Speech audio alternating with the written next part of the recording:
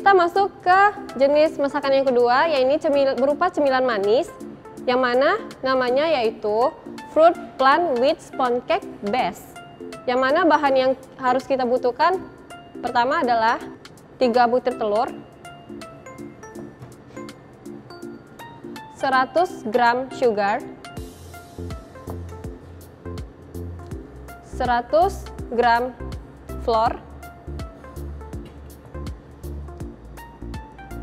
50 gram butter yang sudah dimeltitkan.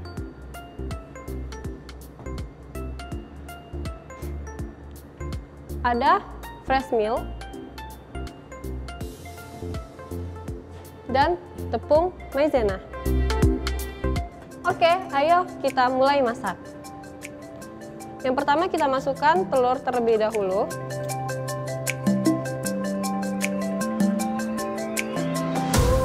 Kita masukkan telurnya dan juga sugar. Setelah itu kita whisk sampai adonannya kaku.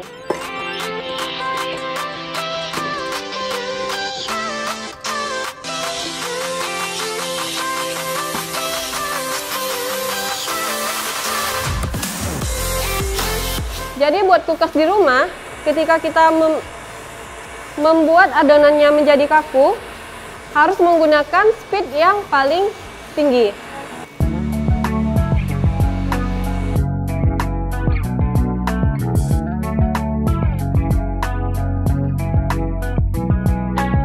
Oke cookers, selanjutnya kita masukkan butter yang telah dimeltedkan tadi. Tapi dengan syarat butternya itu harus dingin terlebih dahulu.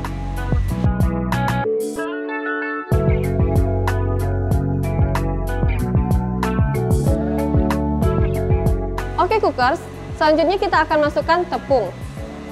Buat para cookers di rumah, kalau kita ingin membuat sponge cake, kita harus memasukkan tepung dengan menggunakan speed yang cepat. Dan dalam proses pengadukan tidak boleh lama karena akan menyebabkan adonan tersebut akan menjadi turun.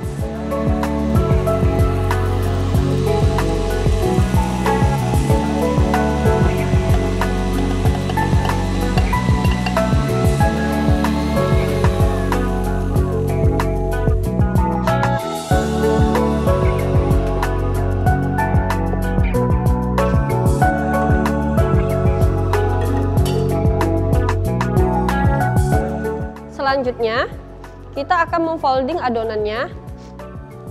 Folding itu merupakan proses pengadukan yang dimulai yang dengan metode seperti ini. Jadi arahnya itu dari dalam keluar. Biar tepung yang tadi di mix menggunakan mixer akan tercampur lebih rata lagi.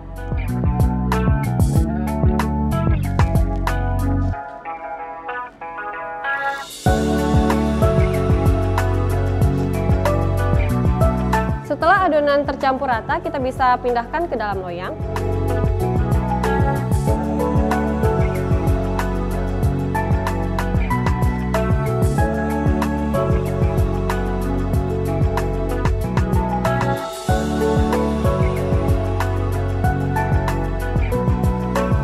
Oke cookers, adonannya sudah siap untuk kita bake di oven dengan suhu 180 derajat dan waktunya adalah 20 menit. Ayo kita masukkan ke dalam ovennya.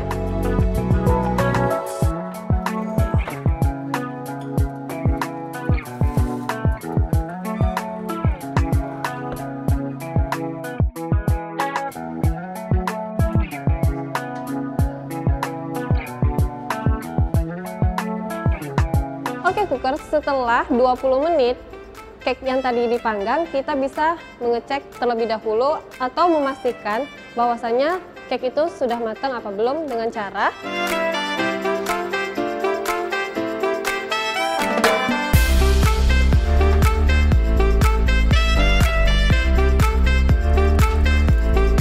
menggunakan tusuk gigi.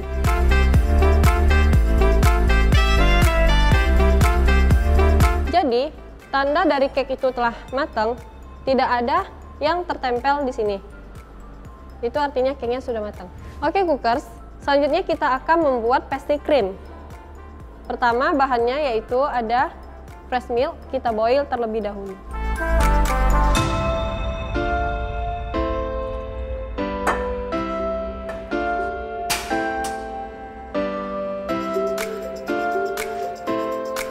Selanjutnya kita masukkan gula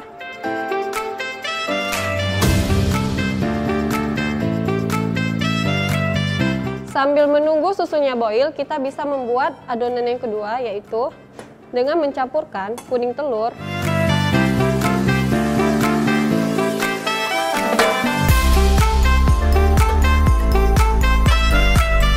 gula dan juga yang terakhir maizena.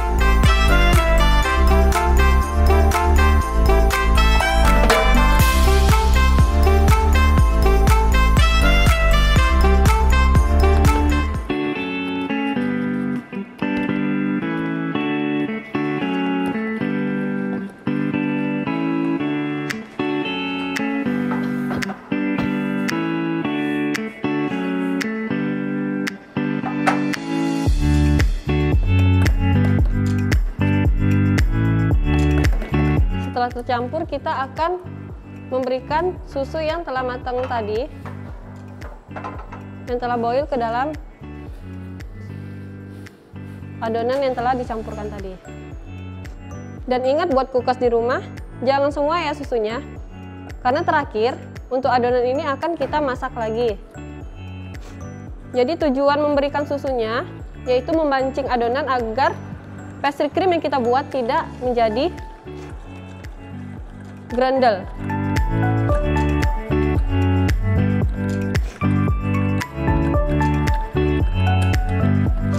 Dan kita whisk sampai tidak ada butiran-butirannya lagi.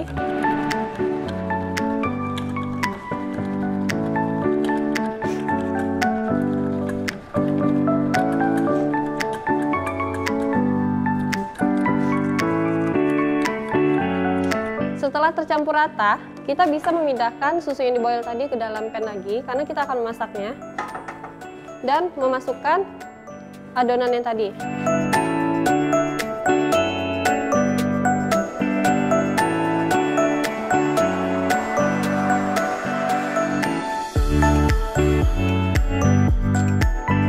Setelah adonan yang tadi masuk, kita bisa memasaknya sampai dia menjadi kental.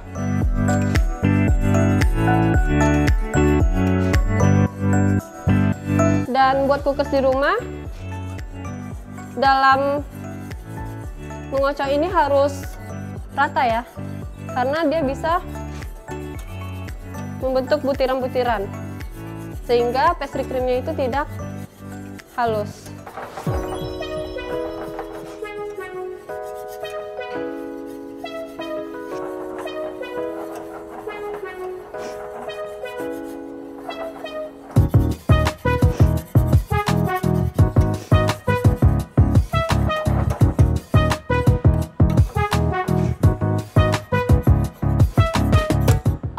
Setelah pastry creamnya jadi seperti ini, kita bisa menggunakannya sebagai filling.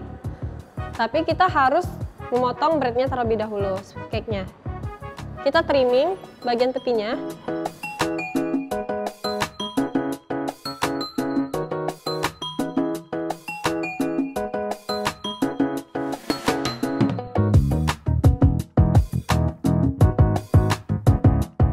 Jadi, untuk sponge cake yang benar itu dia memiliki rongga. Kalau misalnya kulkas di rumah membuat sponge cake-nya nggak ada rongganya, berarti itu tandanya kuenya bantat.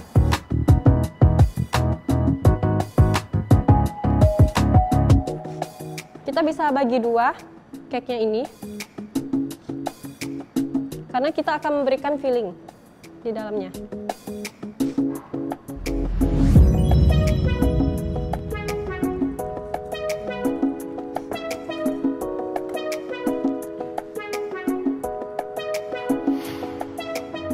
Selanjutnya kita akan memberikan pastry cream ke tengah-tengah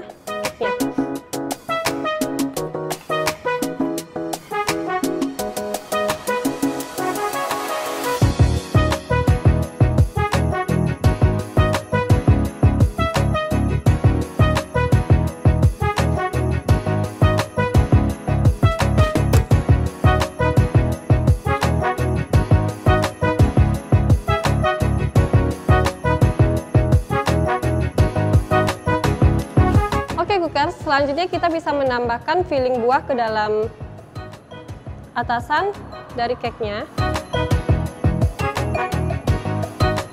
Ini adalah buah kiwi yang sudah kita chop terlebih dahulu. Dan yang terakhir kita bisa letakkan layer yang selanjutnya ke atas dari cake tersebut.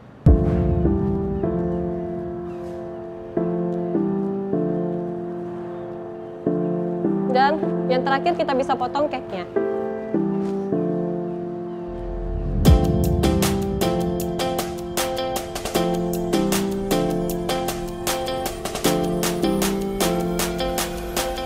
Oke cookers, mari kita mulai plating.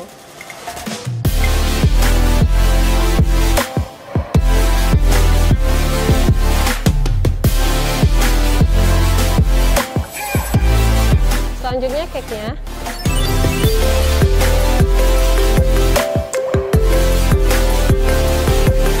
Dan kita memberikan whipped cream di atasnya.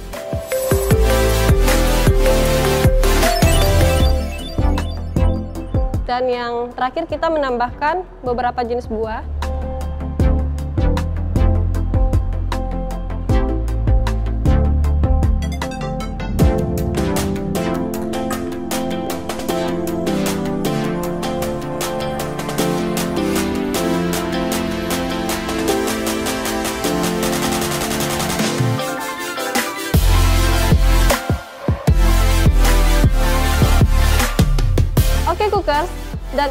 Adalah sponge cake with fruit flan.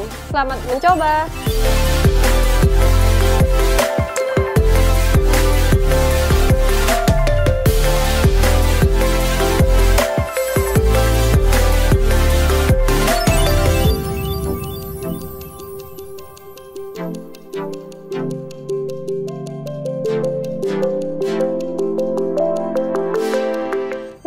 Buat para kulkas di rumah, ini menu kita pada hari ini yang telah kita masak.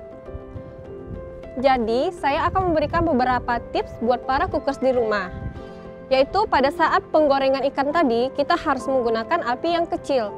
Atau tidak boleh minyaknya terlalu panas karena bisa menyebabkan luarnya gosong dan di dalamnya tidak matang. Dan untuk sponge cake-nya, kita harus memasukkan tepung dengan memberikan speed yang tinggi dan tidak boleh terlalu lama ketika dalam proses pengadukan tadi atau dalam whisk-nya. Uh, karena akan bisa menyebabkan adonan tersebut akan menjadi bantat sehingga rotinya tidak memiliki rongga pada sponge cake-nya tersebut. Ayo kita cicipin cookers. Yang pertama, snappernya. Kita padukan dengan saus tomato dan juga saus carrot. Ditambah dengan potato.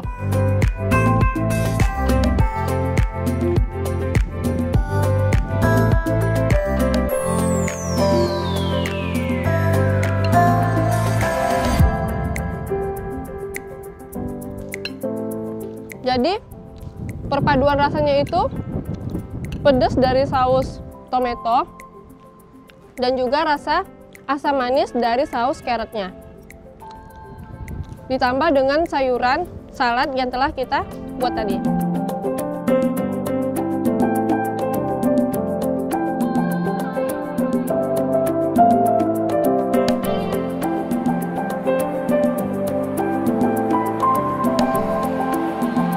Oke cooker, selanjutnya kita coba cake-nya. Jadi tadi cake-nya menggunakan saus strawberry.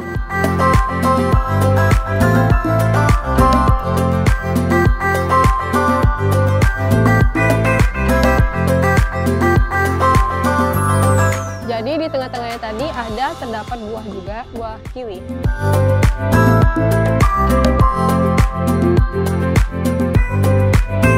Untuk rasanya udah seimbang karena perpaduan antara rasa manis dan juga asamnya buah.